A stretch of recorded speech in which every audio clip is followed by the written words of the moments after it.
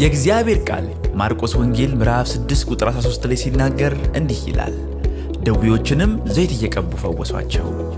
በተቀባ ዘይት ላይ የሚጸለይበት ልዩ ጊዜ በአዲስ አበባ አጥቢያ። ማንኛውም ሸክም በላያችሁ ላይ የከበደ ቀንበር በዝቶባችሁ ምጥ የሆነባችሁ ነገር ሁላ እግዚአብሔር ከላያችሁ ሰብሮ ሊጥለው ቀን ቀጥሯል። ከቅባቱ ውፍረት የተነሳ ቀንበር ይሰበራል። ከጥንት ጀምሮ እግዚአብሔር አምላክ በተለያዩ ተፈጥሯዊ መገልገያዎች ሕዝቡን ሲመራ፣ ሲያድን፣ ሲፈውስ እንደነበር ሁላ ዛሬም የከበደባችሁ ቀንበር ሁላ ከላያችሁ ተሰብሮ እንዲወድቅ እናንተም ነፃ እንድትወጡ ስንል ይህን ታላቅ መንፈሳዊ ፕሮግራም እንድትካፈሉ ጋበዝናቸው። በዕለቱ እግዚአብሔር ለምድራችን ቀብቶ የሰጠን ነቢይ ደረሰ ላቀው እናንተን በታላቅ ቅባት ያገለግላችኋል። ይህን አፕ ላይ አንድ አንድ ሁለት ሶስት በቃ አለቀ። ታያለ የሚሆነው የብዙ ሺህ ሰዎች ምስክርነት ይሆናል። ከአስር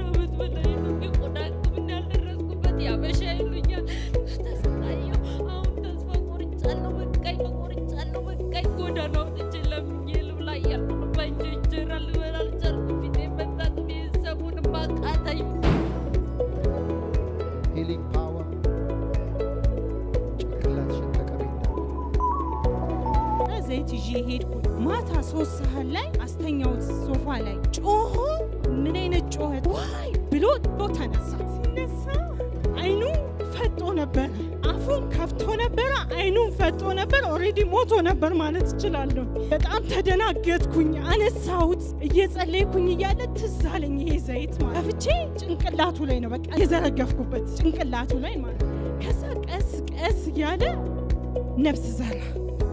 ለጌታ ክብር ቀላል አይደለም። የእግዚአብሔር እሳት ያለበት የተቀባ ዘይት ነው። አሜን። ስለዚህ ለሁላችሁም ተዘጋጅቷል። ይህንን ለመውሰድ ተዘጋጁ። አሜን።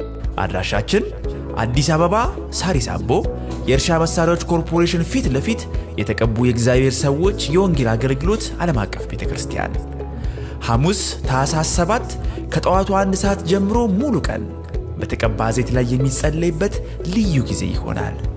ሁላችሁም ተጋብዛችኋል።